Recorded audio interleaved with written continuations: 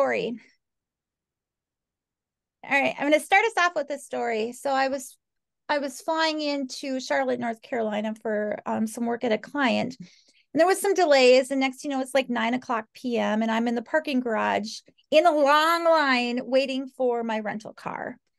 And like I do most nights, I'm on my ear um talking to somebody as I'm waiting in line. And I just so happened to be talking about some of the things that I have going on. And all of a sudden the they said, hey, we have some um, electric cars. Does anybody want an electric car? And I said, I'm tired of being in line. Yes, I'll take one. I'll take one. But this earbud said to me,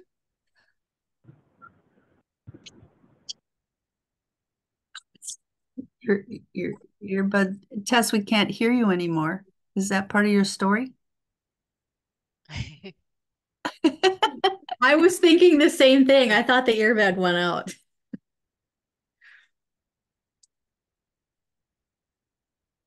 Okay.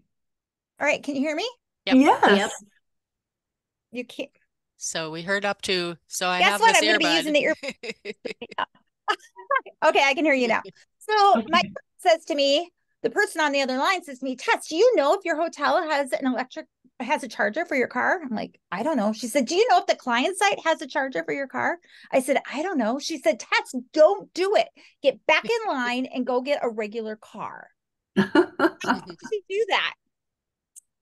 Because I might have a dead car, right? I can't charge it, and then I'm not going to get on the client site and deliver the value they've been I've been hired to deliver.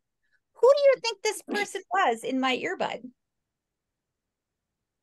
What, Elon what Musk. role No. or accountability in the agile world do you think this person was? It's my scrum master. Hmm.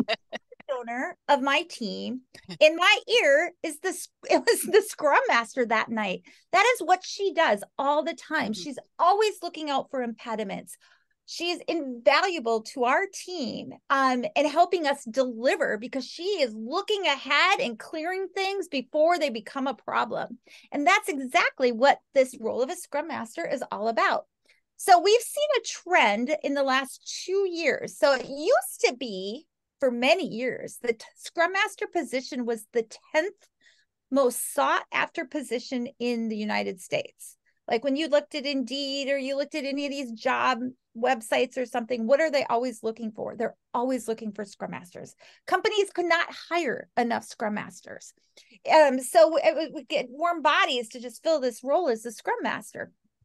But now, the last two years, as the economy's been, you know, inflation's been going up, it's been hard to get, you know, some people to come back to work. Um, and companies need to tighten their belts a little bit. And one of the things that we've noticed is they're starting to lay off Scrum Masters. And I'm, I can't help but feel responsible because I've trained so many and certified so many of the Scrum Masters out there in the market. I feel really bad that this is happening. So I want to help fix this problem. And I think a big part of the problem is I think there's a plethora of reasons.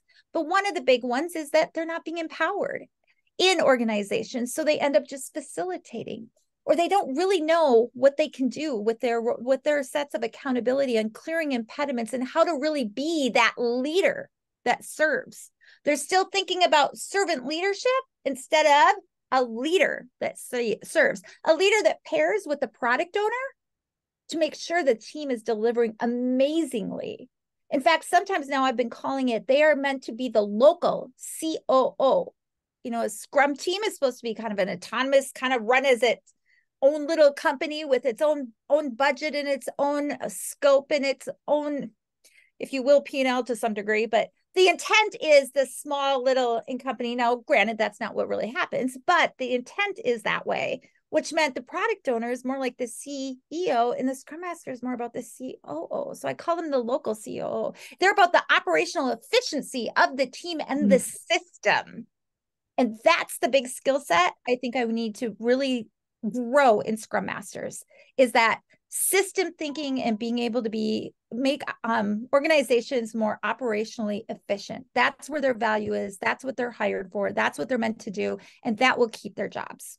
So, Um, our call out here tonight is just to see if anyone is interested in a separate meetup where we focus specifically on skills um, for that Scrum Master role, those accountabilities around operational efficiency and system theory and thinking. Um, and some of what we what we're teaching today and what we're doing that's different from maybe when you were certified a few years ago, as we've trying to make this a leader that serves, not a servant leadership. So I have in the chat, I will put in here a little thing that my colleague wrote up. Uh, Brian was going to be, oh, it's not copying. Why? Oh, it's too long. Okay, hang on. I'm going to put a link in the chat where you can go in and say if you're interested, and if so, what topics you're interested in as well. Okay, I have a whole list in my head, but naturally, I'd rather hear specifically from you um, so that we can Im- Im- improve this uh, skill set out in the market and this fix, hopefully resolve this problem we're having. Because if companies are need to tighten their belts and be more efficient, they absolutely should be looking at more Scrum Masters out there. All right, thank you. Thanks, Tess. Are you gonna gonna are you gonna hang around? And is this link gonna yes, like persist? I mean, is this something that yes, will, it will. It will take you to a, a, a survey, a little Typeform survey, so you can answer some mm-hmm. questions, mm-hmm. and then we'll collect that data, and then we can let you know what the data says and whether we take this forward or not. And and you did put it in the chat? No, I tried. It was too long, so I will do it again. Okay. Okay. So you can. I'll put it in the chat. Well, we can move on to the next next part of the program because I have to cut the message down. Right. Next part is introducing our speaker and talking a little bit about you know what we've got coming up as well. So um, we are we we made a, a couple little changes for um, this agile group meetup over the course of this year. We've been taking July off as just a enjoy vacation in summer. You know, it's lovely. And then um, also decided that we're going to take off December because holidays, yes, it makes things a little tough. And um, so th that's just a couple little housekeeping things. And um, we've got We've got topics for February and soon to be March and working on the rest of the year. So we're really excited about what we've got um, kind of teed up for the rest of the year um, so far. So keep your eye out and thank you to all the new members that joined. Even if it was just like, I want to try it, it's okay. Try it, you will like it. And we appreciate your your time and and your questions and um, enthusiasm and now, when it comes to John, I met John probably well, at least two years ago, and it was um, kind of a a class, but going over um, a discussion class. And I know, Chris, maybe maybe you remember when it was, or John, you probably do. But it, it was it was a really fun two three sessions just talking about John's book, um, the IT Leader's Handbook. So some very insightful stuff in that book, and and so um, when we had this opportunity to you know maybe invite john to join and and present some things we're like well yeah i support that. It took months to get this nailed down but it happened. I'm like very happy about that. But since then i mean since then john is, is since a 2021 book he's published at least what four more other books? Probably more than that kind of uh, the prolific writer. But um, in in 2022, he he wrote um, you know the IT leaders first days, and then um, and then he started um, saying, well, if you want to like be a writer, you know, here's a great way to to start your writing career, which is really cool too. And then a couple of other um, books since then in um, 2023, um, he's added short stories to his publishing repertoire, which is pretty cool. And, and things that are, um, you know, very much available on, on Kindle and in, in, hard copy books um, as well. So, and he's got a blog, he's got things all over the place. So, I mean, he likes to write. Um, he writes, he writes well. I think you'll enjoy um, his his books. So that's really cool. Um, and, and as a result of that IT leaders um, handbook and, and knowing who John is, I thought, well, this would be kind of a cool topic. We've not ever talked about this kind of a, project or implementation and use of agile methods in the past. Um, and as you probably all know, we like to switch it up. You know, sometimes we have books, sometimes we have, you know, um, a number of other things, a variety of topics, because we want to appeal to a variety of people in the industry or um, not in the industry or want to be in the industry. So anyway, um, I think it's really cool what um, John has written about and what he shared and what he has to share um, with us tonight about his experience at a very large manufacturing company and um, their needs for a data warehouse. And so I think, you know, just in conversations that I've had with him, I think it's an interesting topic. And um, we just want to say if you have questions, you can put them in the chat. You can raise your hand. You can just say, hey, John, I have a question about this. And we'll try to moderate anything we see in, in chat um, or call in, you know, raise hands and things like that. So um, feel free. You know, this should be pretty comfortable for everyone. Um, and John, I will let you take it away. Sounds good. Thank you, Cheryl. You're I'm gonna get my screen set up here. And uh, so you should all be able to see the title slide at this point. Yes. Um, and I have to move that out of the way because I can't see. Sorry, folks. My little video icons are sitting over on the side and are right in front of my PowerPoint presentation piece. Well, we like the cute little puppy face, so take your time. I'm thinking, Chris, does that kind of look like your little puppy, cute puppy face? Yeah. Chris is like, what? Why? Yeah. Okay, I there we go. I didn't apologize. I apologize for that. I hadn't figured that part out. So, All right. um, hey everyone. Uh, tonight, going to tell you another story. Tess told you one, um, and I'm going to tell you um, another. It's a little more pain and suffering, a little more overcoming obstacle obstacles, but uh, overall, it was a as it was a success. Uh, but most importantly for you all here tonight, this is the short version of it, so you will not hear the painful long version of it. So just jump right in. Uh, once upon a time, there was a manufacturing company. It had good years, it had bad years, but generally steady growth. But the growth was starting to be a little bit difficult to handle. For 10 years of ERP system data, so all the stuff that had been manufactured, everything that had been purchased, all the financials, all of the inventory management, everything, 10 years of data. And the reporting was still done by exporting CSV files, importing them into Excel, and making pivot tables.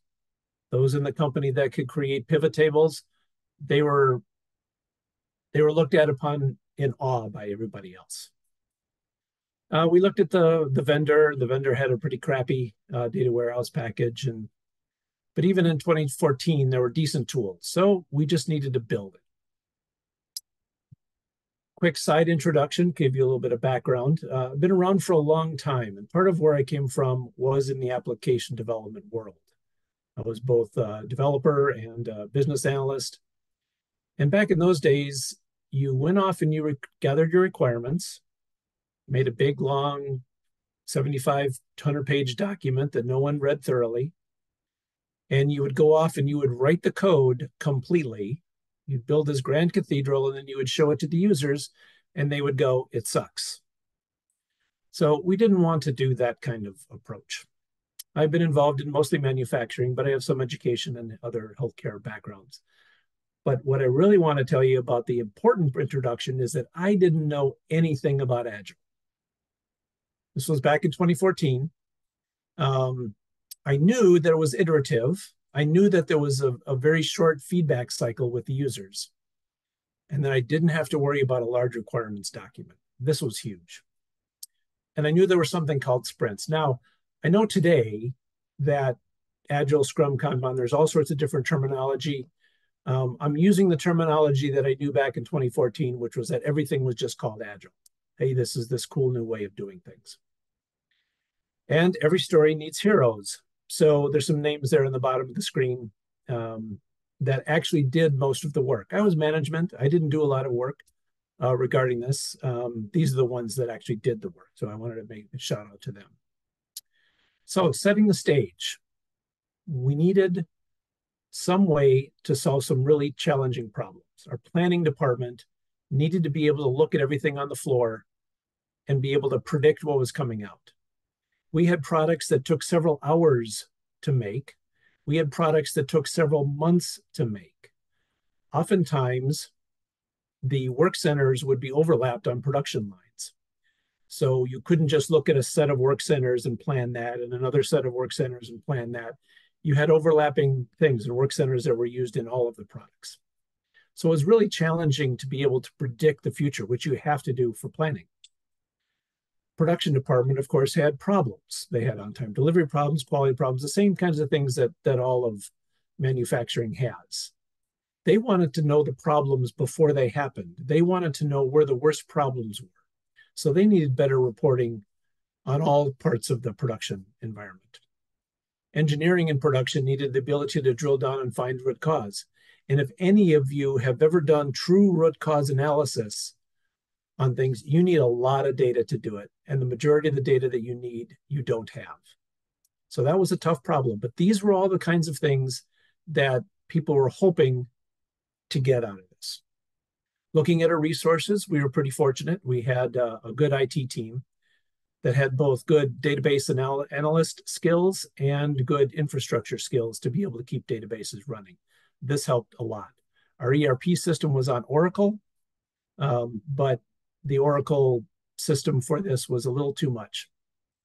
Um, but a big benefit was that we knew the ERP system and the data inside it. We had people that knew the the background, the data that was behind the ERP system, and we knew had people that knew the business, and those were two important uh, keys to this to the to our success. Because when you look at the data data warehouse and reporting, it's you never get the same answer. Well, what is this? And especially when terminology is changing by vendors and everything like that. So there's the parable of elephant and the blind man. A blind man encounter an elephant. One of them goes to the trunk and feels it and says, "Oh, an elephant is like a snake." Another one touches the ear and says, "No, an elephant is like a fan." Another one goes to a leg and says, "No, it's like a big pillar." Another one goes to the side, feels the massive side of the elephant, and says, No, this is like a wall. Another one touches the tusk and said, No, this is like a spear. If you ask 10 people what a data warehouse and reporting project is, you will get 15 different answers. This gets even more complicated when you look at the element of time. Once you start providing people with reports, once you start providing people with uh, deep analytic tools, it changes what they expect out of the system. So not only is a data warehouse and reporting project hard to define, the definition changes over time. So communicating our goal was a critical part of this, and it turned out to be almost as hard as building the system itself. Now, I told you a little bit about um, my Agile knowledge at that point. Um, I knew a little bit about it, but a key thing is what was the team's prior agile experience? Because this was important going in. None. There was no experience whatsoever. None of us had ever done any kind of agile projects. And back in 2014, you really couldn't use a lot, learn a lot on YouTube. There wasn't a lot there to do, and there wasn't organizations like this that you could do that. Or if they were there, we didn't know about them because we weren't plugged in. Also, agile tools. You need software tools to be able to do an effective agile project. So what tools did we have available to us? Also none. Um, we weren't, we didn't know what tools were out there. We had no budget to get tools. So that was another challenge we had. So with all that, how are we going to go about doing it? Well, we knew from our philosophy of the project that we didn't know what the company wanted. The company didn't know what the company wanted a data warehouse and reporting project was this vague thing. So we had to have an iterative approach, and Agile was the only hope out there for us that we knew about. I also knew from long practice that slow and steady wins the race. You can come out and do a, do a flash of something, get spend a couple months, get some stuff out there, But the real test of time is is it still being used 10 months from now, 10 years from now? Slow and steady wins the race. If you keep doing some for a long period of time, you can accomplish a lot of different things. Looking at our timeline, we started the project in 2014. We had everything laid out um, by the summertime, and we had our first print, first sprint in August of 2014. Woo-hoo, that was a day of celebration. Then for the next seven years until I left in 2021, we had two week sprints with no breaks. We didn't miss any holidays or vacations. And I'll talk about that in a little bit. The system was huge uh, when I left. Uh, presumably, it still is. Almost a terabyte of data, lots and lots of models, hundreds of measures. We had reports for Excel and Power BI and ad hoc queries and all sorts of things out there. A really large system that had grown over that time. Um, for you database folks out there, a quick uh, architecture statement. We use Microsoft SQL Server, uh, three components of it that are still there, but Microsoft doesn't talk about them too much because they're all talking about data lakes and all sorts of other things. Um, but uh, this was the, the tools that we used. We had some data load problems. Um, well, not problems, but we tried to anticipate the data load problems. So when you when you create a data warehouse, you have to pull your data out of the ERP system. Your ERP system is set up as transactional. It's about people can do inventory check-in and check-out. People can schedule um, production floor. People can do all the things very fast. Well, ERP databases are terrible for reporting off, off of. So we had to pull the data into another database. That's the standard way you do it. And so we looked at if we had to pull some data from a table, if we wanted this kind of data, chances are someday we were going to need it all.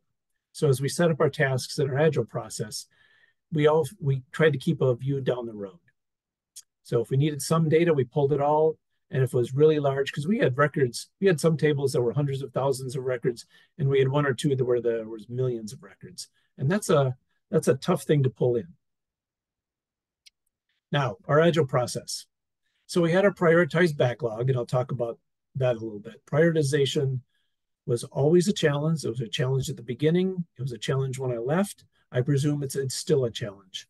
I don't think that there's any um, cut and dried way to do uh, prioritization. As I mentioned, we had two week sprints.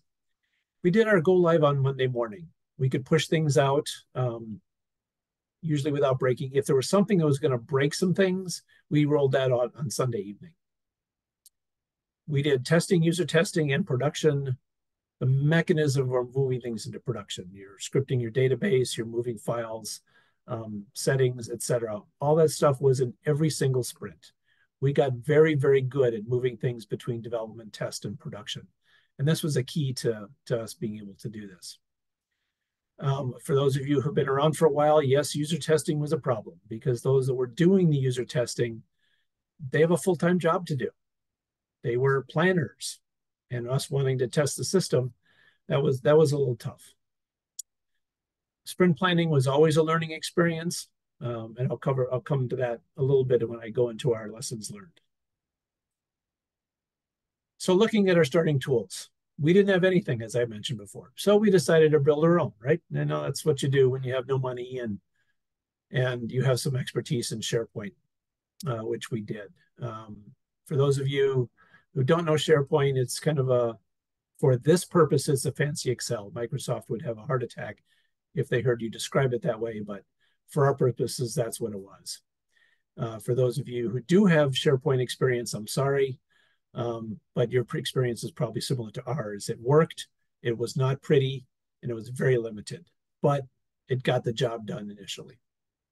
And I listed analysis there, but frankly, we didn't do any analysis at all. We had we have enough trouble just tracking all of our tasks and trying to figure out what this um, this agile process was.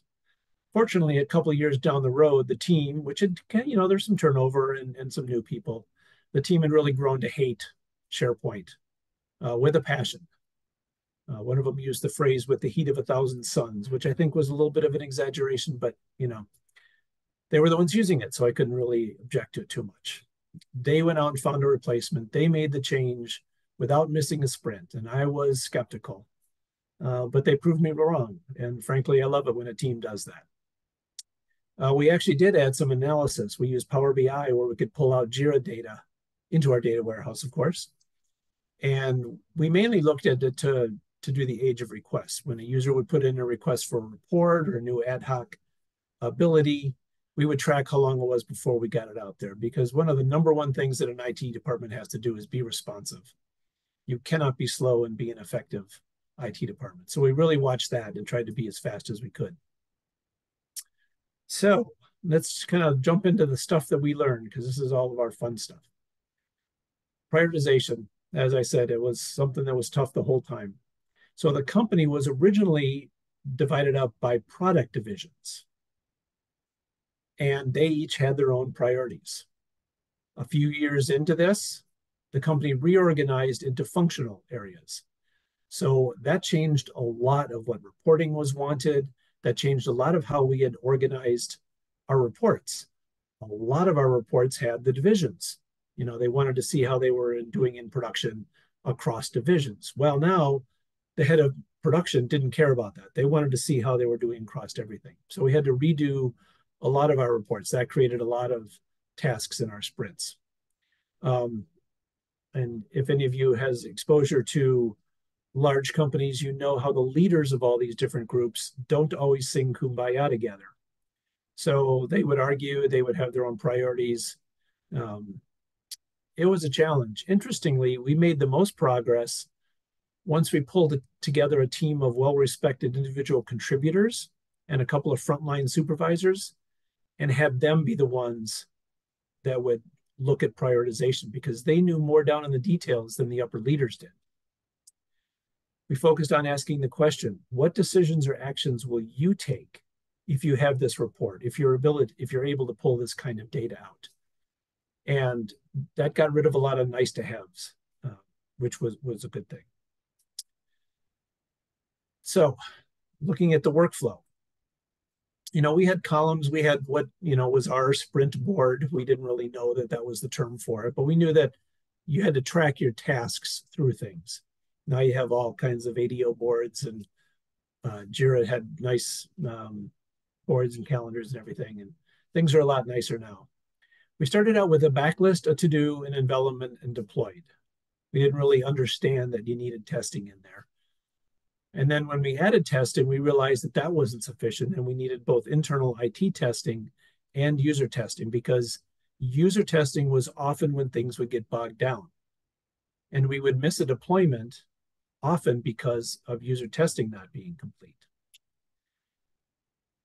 As I said before, they have they have their jobs to do, and and that was hard. Now we did on things that were kind of new to the world, like a brand new report or a, a new model that was out there that they could do some ad hoc queries in there. Sometimes we didn't wait for all the user testing went to be done. We would put it out there and let the people start playing with it. And they would let us know if there were problems.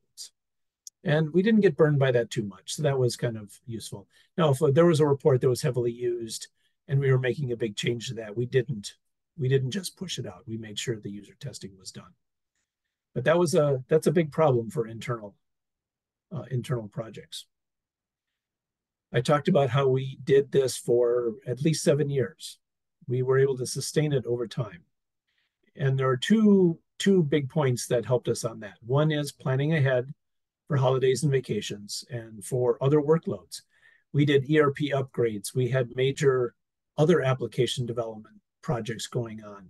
We had um, major configuration in the ERP that got done. We had we implemented uh, lots of other software during this time. So the people who are working on this project had lots of other things to do. So we would dial up the the amount of work that we would do up or down depending on what else was going on. The other piece was that we had a very low threshold for something. We had to put out something every sprint. We had to deliver something. Sometimes that was very small. Sometimes it was just a switching the columns on a report. Sometimes it was making some settings. Sometimes it was a small data thing. But we had something. And what that turned out it to be is a source of pride by the team. The team took pride in the fact that they had never missed a sprint. And that's a very powerful tool when you have the team feeling really good about things and never missing something. Now, I talked a little bit about the workloads and everything. Size of the tasks was another one. I'm currently working on, I'm helping a company do an actual true development project using Microsoft's ADO and and all sorts of things. And they still have the problem. We still have the problem of how do you size your tasks? This seems to be like prioritization, a constant problem that is really hard to figure out how to solve. Now, we didn't have the concept of user stories back then, so it was mostly a request for a new report or a new ability to do some, some ad hoc queries that came in. But those would create a large set of tasks. We'd have data loads to do, we have models to build, et cetera. And the users didn't know and frankly didn't care that all that stuff was going on in the background. So trying to break them down into tasks that could fit inside a sprint because we, we never wanted a task to go longer than a sprint. If there was a task that we thought was going to take a month to do, we divided it into two tasks. Ideally, with some of the background work done first that we could push out into production. And then the second part, which would be user facing. Sometimes a lot of it was, was not user facing. We had some tasks that didn't come from users. For example, our data loads had to run in a very short window. Our second shift production finished shortly after midnight, sometimes a little longer if overtime was going on. And first shift started in, at 6 a.m. So we really had about a three hour window that we had to do data loads. They had to load the data, the models had to be built, all of the regular reports had to be run. And oftentimes we had to create a new task to go in and try to shorten it down to make things run more efficiently, et cetera. So those tasks came in. Again, users didn't know and didn't really care about those, but we had to somehow convince them that these needed to fit into the priority list. And I will point out that celebrating the successes and learning from your past are kind of standard things, and those should be done anytime, anywhere for any project. Um, but that really helped us out on the size of tasks uh, area for things. Finishing was another uh, important action. In the IT world, finishing is one of the most important things. Finishing always means compromises between schedule, features, and quality. That triangle, you will always have to make compromises there, whether you like it or not. The reality is that you're going to, going to have to, excuse, excuse me. You'll have to understand that sometimes improvements over what users have today, even if it's an imperfect improvement, can be better than delaying for something better. If you have an ad hoc query that doesn't quite have all the data or some of the fields are not quite right, not from a data accuracy point of view, but from a it's not in the right place or it doesn't have some things, that better situation, going live with that, let people start using that data and not and avoiding the extra sprints to get it perfect. So we had to make a lot of tough calls on is this good enough to go out there? Does it actually make the company's life better? Well, it's not perfect. It's not exactly what I wanted. Too bad. Does it actually make the life better? And that that factored in a lot of times. Focus and finish was our mantra. Pick a sprint, pick a small number, and get them done and get it rolled into production. Now, data accuracy problems were um, were a problem, but usually we, we pushed it live and improved on it in the next sprint. Given that we knew for a fact that tiny things, small things, we could finish in the next sprint, that that helped us. At the beginning, the users didn't really understand or get that, but eventually they they learned that they could start getting the data now and do useful work with it and then have things fixed up and cleaned up in the next one. And it's um, it's interesting how many things were less critical when they knew they could be fixed. But I mentioned the the data validation thing. Bugs are a problem. There's always going to be bugs, and you have to figure out how to use them. And we used two things. We said, if the user doesn't see it, or it's not data related, we'll fix it in the sprint cycle. In other words, you got to wait two weeks to get it fixed. But if it was wrong data that was actually out there, then we did break the sprint cycle and push it out there. One of the advantages of having consistent two week sprints is that we knew exactly how to push things into production. We knew how to do it without making mistakes. We need to do it without making sure that everything with making sure that everything um, was backward compatible. We had that process nailed down. So when we did have to work outside the sprint cycle and push something out there, we didn't make mistakes. If you only push out something new every couple months, you don't do that release cycle very often. So that was that was a benefit. So some final thoughts. So Agile is an excellent process for data reporting projects, and we were talking about before the meeting started.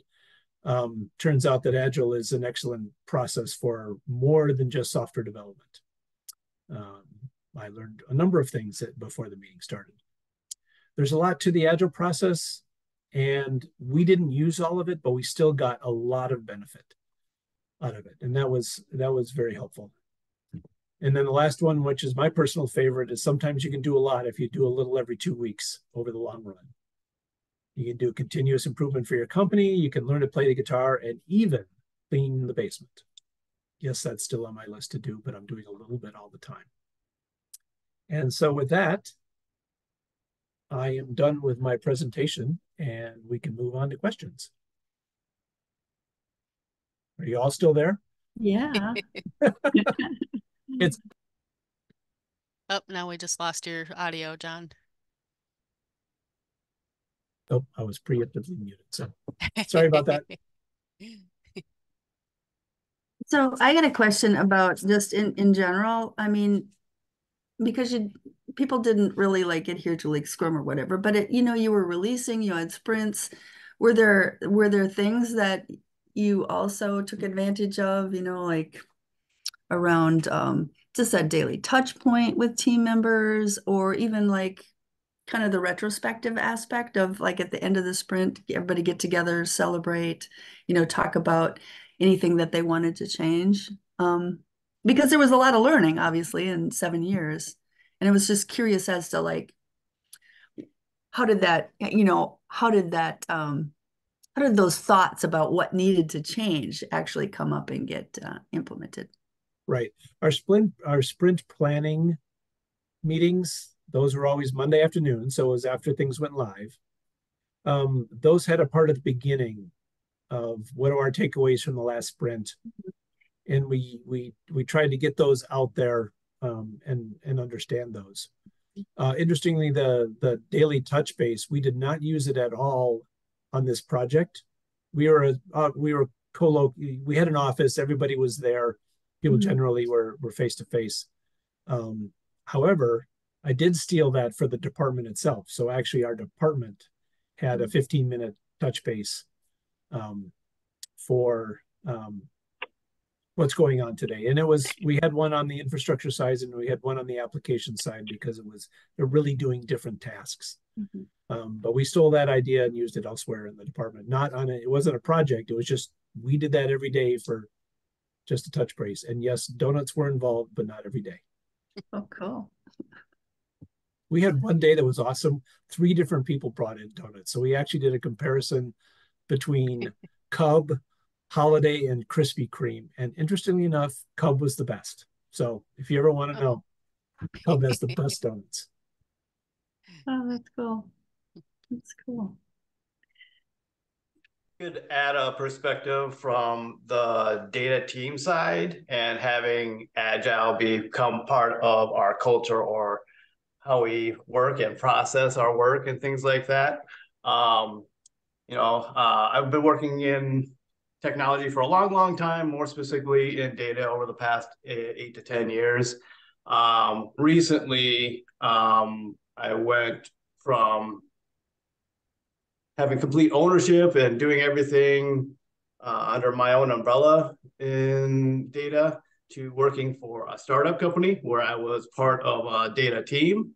And that was my first real experience working with Agile and um, kind of working with a, a, complete team like that. Uh, in addition, we were a completely remote team. So everyone was based all over. Uh, we did have times where we would connect up and get together in various states and things like that for um, a week or something like that every uh, month or two and that type of thing. So we did get some face-to-face interaction, but that was part of uh, interesting thing about um, how do we do that uh, agile process.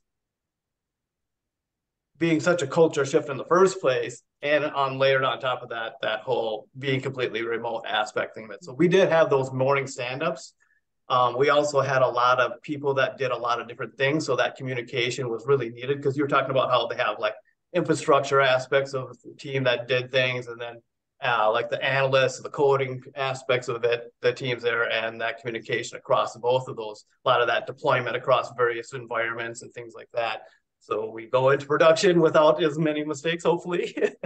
um, but yeah, so um, learning from that experience uh, at the startup and working with that, I became much more. I worked in the in the space of being a BI engineer and a data architect and stuff like that. So developing all the data warehousing, um, doing all that kind of good stuff, all the BI analytics, uh, visualizations, and things like that.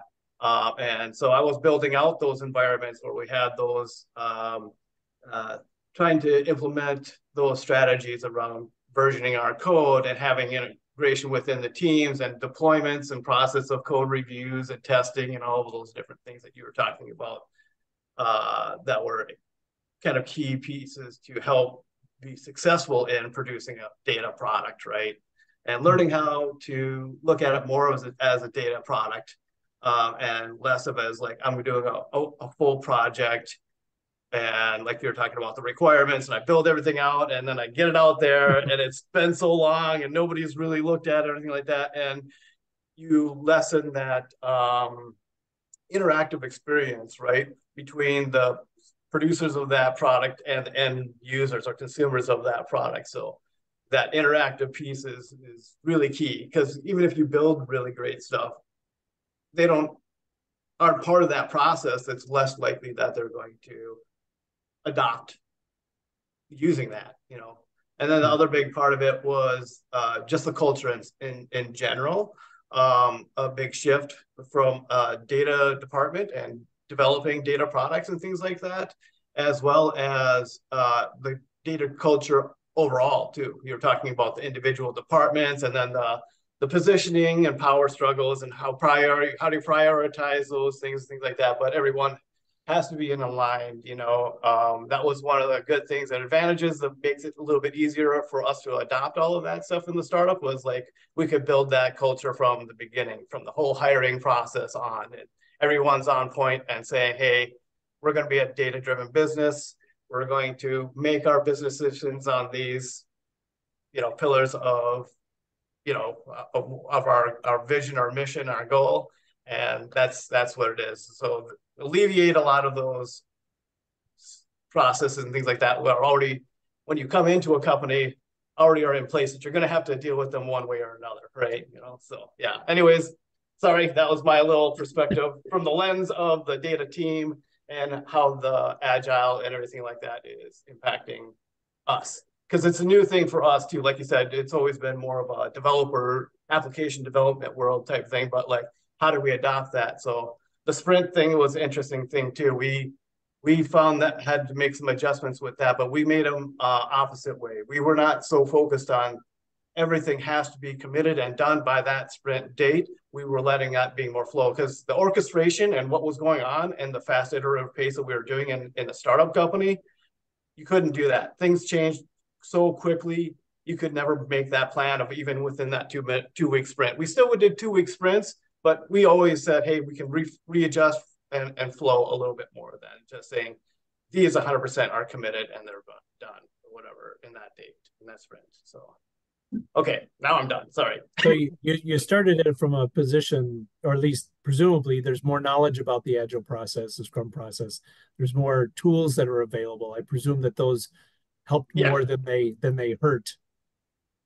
Yeah, yeah. I mean, um, you know, it's even when you have the opportunity to start from the very beginning and do it, there's so many pieces to do there. I think it really is um, really has to be a meeting of the minds to make that decision on what that path is. So do I start with, um, you know, like, do I start with building the team and then the process, and then we add in the uh, code versioning and managing that? Do we start doing testing next? What's going to be the most important? Where do we get the biggest bang for our buck for the next step or phase? Because it's hard to be able to say, oh, I'm going to start up everybody, st- set this culture in place, set these processes in place, put all of these systems in place on day one. You can't really do that. You know what I mean? So you have to iterate into that process. But as a team, as a company, you have to decide what that path is for you, I think. Because, you know, every team is different. You have different product that you're trying to develop. You have different dynamics of the teams that you have it built and what they have the capabilities and resources to do you know, uh, all kinds of things. So, I mean, you you have to kind of figure that out for yourself and what you're trying to accomplish within that team in that company. I think so. Yeah. Mm-hmm. So, John, this has been super awesome, very helpful. I appreciate you sharing all of your experience with that. You know, that's awesome. Thank you. Good. I'm glad you. I'm glad you spoke up. So, thank you for that, Parker. John, how did you, um, when you first started, because you were literally building the data warehouses. So, how did you handle that as far as, you know, trying to, if you were trying to kind of time box anything, you know, some of those tasks were probably pretty big. So how did you kind mm-hmm. of deal with that? So from from the first sprint, the first couple of sprints, there wasn't anything in there that users would see or use. Mm-hmm. The we had and the and the first getting up to I said the first sprint was in August. It took us mm-hmm. six weeks to actually get enough of the infrastructure in place. Mm-hmm. The SQL servers st- stood up and, and all of those kinds of things. So a lot of the first tasks um, were setting up the infrastructure, we're setting up things. Mm-hmm. Um, and that it wasn't until probably, well, we started in August, probably October before we kind of got, we put out, we all, whenever we built a model, we would always put the ad hoc query out first so that those Excel experts could go in and help verify the data for us. Yep.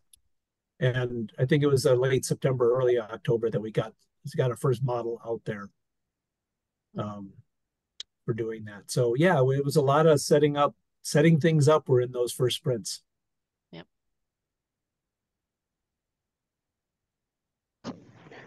I have a question. I was curious, being that it was such a long amount of time for mm-hmm. an agile project how did you keep tracking long term so that because obviously you have your two week sprints how do you prevent yourself becoming from becoming complacent and just redundant and starting to just fall into a rhythm and a pattern that no longer is really showing significant improvement and then reflecting back and ensuring that okay so this is over the last six months over the last year these are the points in which we were able to show these improvements. These are the things that worked and didn't work, and reflect on those things more so, so that you can make sure that you are continually evolving and creating these changes as you go and making sure you're not falling into a pattern and out of the agile mind frame.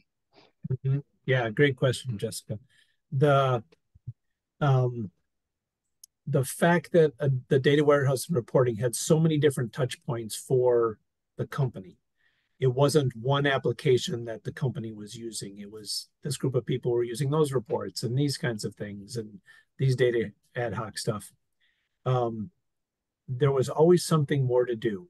What we kind of wanted to do, and Parker touched on a little bit, is you're iteratively improving your process and you're iteratively improving the product, the thing that you're delivering. We wanted to get the process to the point where not that you're complacent about it, but that you didn't have to think about it. We knew that the sprint planning meeting was always on Monday. We needed to have user testing in probably by the end of day the next week, Wednesday. We we learned those things so we didn't have to think about them as much. Um, but fortunately, our users were never satisfied. And so there was always more to do um, there was no done state that we would ever reach. Now, the looking back over time, I found that helpful to communicate to the team and to the and to users and management. Hey, look how much stuff we have done. We have done all of this work and got it done because when you do the two week sprints, those are small amounts. It doesn't feel like you're getting much, especially if if you're working on a bigger task that takes a bunch of time. It's like, oh, I can't get this model done. You know, we had some models that would take, um, you know, we get one measure at most a week because getting the data was right. So um, it wasn't, it was, it was less about complacency and more about a feeling of not making progress because this, the things were so slow. So looking back did provide a benefit to that. Did you have leaders who asked you when it was going to be done? Absolutely. when is it going to be done? Why is it going to be done sooner? Mm-hmm. And and what you gave me is wrong. Mm-hmm. Well, it wasn't wrong because all the people that are from your team said that it was mm-hmm. great. but there was one question that they had asked that this team couldn't answer, so it was it was bad. So no, it was yeah, there was still and as I said, there was a lot of work that they didn't understand because it was background work. And that was hard to hard to explain why you needed that. So we we really tried to highlight the here's a, this this set of reports went out. This set of these people are using it. This we tried to give usage stats in there too, which helped. Is mm-hmm. hey, this report's being used lots of different times. People are getting useful things. We go to them and say, hey, um, when we, we we did the ERP upgrade, we um, we had to touch all of our reports and we had a suspicion that a couple of reports weren't being used. So we maybe didn't fix those right away. and sure enough, people didn't complain about them. Mm-hmm. so a couple of them we ended up deleting.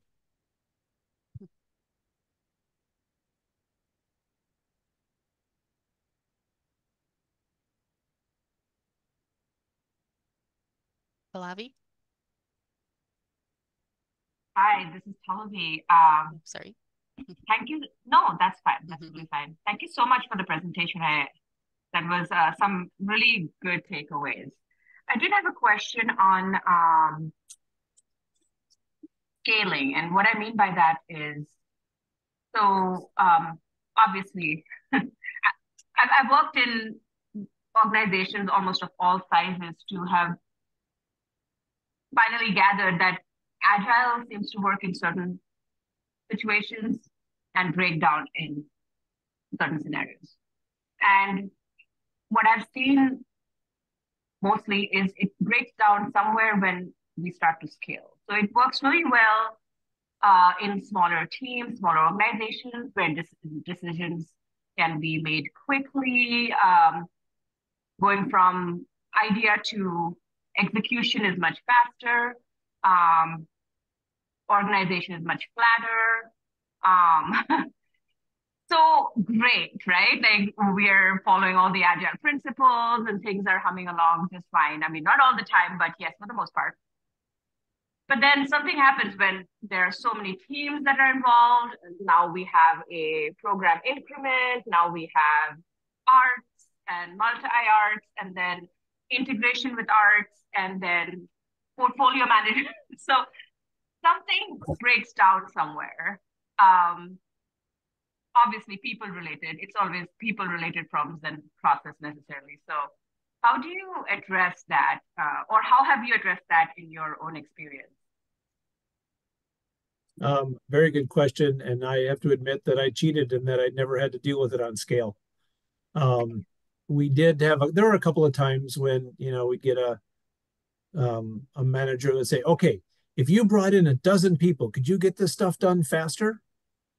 Mm-hmm. And the answer was yes, but you know that was it was always cost came down to cost and on that for the for our particular particular mm-hmm. situation. But when we did think about it, we figured we could. We had there was usually two or three people again not working full time, so we were a small team.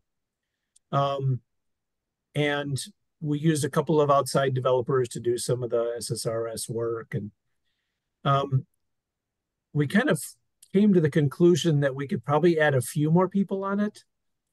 But after that, the technical coordination mm-hmm. of the pieces that were being released would get really complicated. And maybe Parker can add something to this because um, it sounds like he's got a little bit of a bigger team. But the it I'm sure that your your statement about people is true in the in the much larger scale, getting into the dozens or hundreds of people.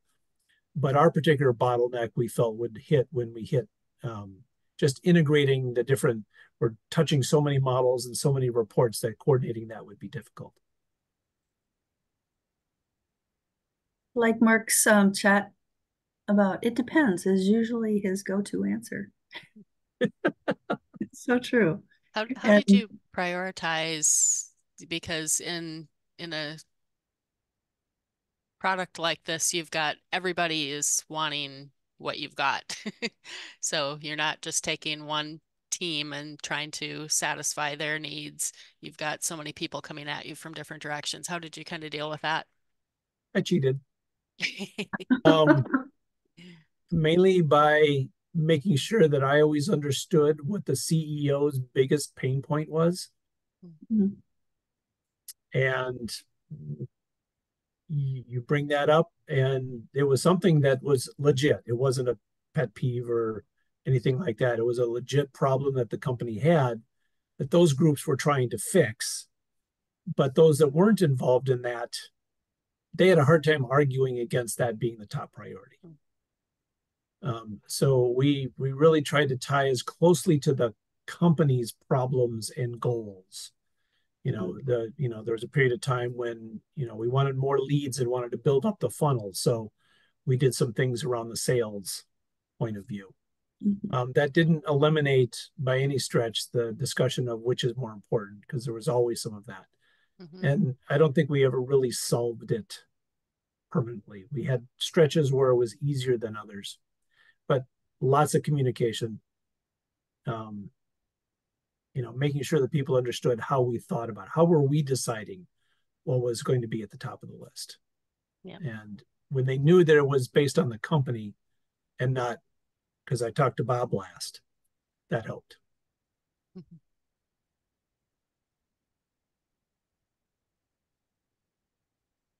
Tess, did you want to talk about? Um, I guess I saw you had your hand up and then you put some things in the chat. Yeah, well, I didn't know if I wanted if if I wanted to um an answer questions about at scale and what I thought I heard. What I thought I heard is that um that at scale things definitely there it adds complication, but I want to make sure people understand that you can actually be at scale as long as people are in on it. And I actually have some clients that work at scale at the portfolio level and at the project level, they're still running waterfall. So you can have these hybrids in organizations. I see it quite a bit. Um, if the portfolio is going to change frequently, they want to use Agile at that level, but they have maybe a project that's not going to have a lot of changes. And so they want to use their traditional waterfall way um, of working in that, and that's fine as well. Um, what I thought I heard though was something around PI planning, and then a lot changes until the next PI planning, and that is a challenge with SAFe, um, the SAFe scaling method for sure. That's where I would recommend typically that product owners get together more frequently than just at PI planning and do something what we often call like a meta scrum or a product owner meeting just to see how your plans are executing and what the new reality is so that you catch it more frequently than waiting until PI planning. So maybe it's once a month, maybe it's once every two weeks or once a sprint, but getting those product owners together more frequently so the plan doesn't get so out of date. Did that yeah, help? that's a that, yeah, that's a good point. And it, I think I think what I was alluding to more is just um, when you have when you have layers within an organization, um, and then that leads to um, centralized decision making. Um, no matter how many times you get peers together, if the decision always has to come from the top, everything gets delayed. So that's one of the that that was that was the point I was trying to get at is somehow um, true agile principles fail when you have many layers. And it seems to work better when they when the organization is flattened. Again, I'm, I'm I would please, keep track of that. I yeah. would suggest keeping track of that decision latency is what we call it, how long it takes to make a decision through your impediment backlog. And then you can start showing transparency around how long it's taking to make decisions. And then maybe that'll help leaders to start empowering product owners or empowering their teams. Right. But what do you do about mindset? I think that's where it, it's not just the agile process, it is a mindset, it's a way of thinking and being and um, organizing yourself. So how do you how do you get over or how do you get past that with leaders especially? Um, because I, I've just uh, I've seen it fail so many times. Because somehow it, it fails on the leadership level. Because somehow they want Absolutely. I'm with you. It absolutely fails at the I mean, a team can only go so far and so fast and they're going to hit a ceiling until they're going to hit that ceiling wherever that leadership is not on board. So, I mean, it works the best to start with the leadership and get them on board, make sure they're in before you start working with the teams. But sometimes it's grassroots, and that's going to hit a floor if the leadership is still traditional thinking. Um, and and that that takes time. But I think showing them the data is one of the best ways to do it without being able to, you know, without having it being real quantifiable versus um saying like we ran into this impediment on this date and look at it took us four weeks to get it solved and then yeah. sh- just sharing that in your reviews or your logs so that leadership does see where the problems are right okay thank you I just a little quick question, John, about your planning horizons. I mean, did you anticipate it would be seven years or that it would be ongoing for such a long time? Or did you start out with we could knock this thing out in two years and I knew it would be ongoing, but if you asked me if I thought it would be going in seven years, I don't think I would have said yes. Mm-hmm. Um, and there were certainly those elsewhere in the company that, well, this is just a project. You spend a couple months, and I'll have all the reports I want. Yeah. You know, it shouldn't ta- it shouldn't yeah. take that long. So there was a little convincing of, no, we're going to set this up as a background almost background task to our other projects mm-hmm. that's going to be part of the daily operations of the of the um, department. And that took that took some convincing. Fortunately i was relatively new to the company so i had a little bit of a honeymoon period. Yeah. That's great. That's great. Well cool. Okay um Pallavi, did you want to ask um, your question or did you already cover that? The lack of consistent process. How does the lack of consistent process affect the overall objective or does it not? Well, certainly when there were times when we didn't put out things where they weren't seeing visible improvements for a couple of sprints, you know, we'd be doing backgrounds or doing the models, all the background work. Um, we were making progress, but it wasn't visible progress. Mm-hmm. And it didn't really change the objective other than when am I going to have it? How come I can't have it sooner? Etc. Um, but that visible, consistent process makes a difference. I'm sure the others, Parker and Tess, have other comments to add to that. Some of, I mean, actually, a lot of our processes working on that end, we we we identify those patterns. There's a certain pattern. I know that if I want a certain metric or model to be created, I have to go through this flow to make sure that to get to this point where we're, we're able to come out with that end product or the requested end product, a new metric, for instance, or a new visual in a report. We know what that pipeline of work looks like and um, what processes and people need to be involved in that and how we can kind of set us up so there's a sequence to produce that product right? So like okay the first stage is to identify do we have that data source already ingested into our in, into our environment? No that has to go to a task initially for a data engineer to set up the data ingestion. Okay the next part we have that data. Yes, we do now. Okay, great. Now the next step is what analyst needs to create this query version of this data model so I can get this metric out of it. So we know what these different steps are and how to automate them, when they need to be automated, where to play, put in testing, and I'll do all these things. Now you mm-hmm. can't have that done on day one. Everyone has to be in on this whole process and things like that. But there is ways for us to automate those things and identify those patterns. So that can be helpful. And that also helps us uh, identify like workloads and time frames and all of that kind of good thing too. And uh, allows us to have in the building in those systems allows us to uh, uh, create data around that. So we understand like how long each each one of these processes are taking and all these things and how how often we're committing new code in versions and things like that. We have ways to track all of that now because we put these things in place there. So those are the kind of things that were really helpful for us as we started trying to go into a really uh, iterative approach of creating data products in agile manner there. So as we scaled there, um, that that's how we were able to scale. If we if we can't put in those uh, identify those patterns and automate some of those things and have a way that okay, this step is done. This next one step is assigned to this other person. There's a communication that goes through the, the chain. So the next person can pick things up. So those things are the key things that are really hard, that, that orchestration of work between different people and different timings and coordinating quality and checks and everything like that along the line. Uh, having all that, that's the big challenge, right? But if you have those things in place, then you can be pretty uh, efficient and and able to like even scale developing data as a product there. Hopefully that answered the question. I don't know. That's great. All right. Anyone else have any questions? Burning questions? If not, I mean, we can we can wrap it up, and everyone can go and enjoy the rest of their evening. Cheryl, did you want to bring up our next session? Um, you can.